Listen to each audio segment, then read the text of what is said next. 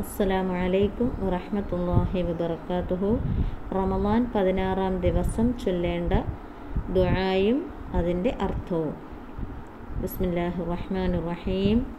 അള്ളാഹുമ്മ വഫിഖ്നി ഫീഹി ബിഅമലിൽ അബ്റാർ വജന്നിബിനി ഫീഹി മുവാഫഖത്തുൽ അഷ്റാർ വആവിനി ഇലാ റഹ്മതിക ഫീ ദാരിൽ ഖറാർ ബി യാ ഇലാഹൽ ഔവലീന വൽ ആഹിരീൻ നല്ലവർ ചെയ്യുന്നത് ചെയ്യാൻ എനിക്ക് ഭാഗ്യം തരണേ.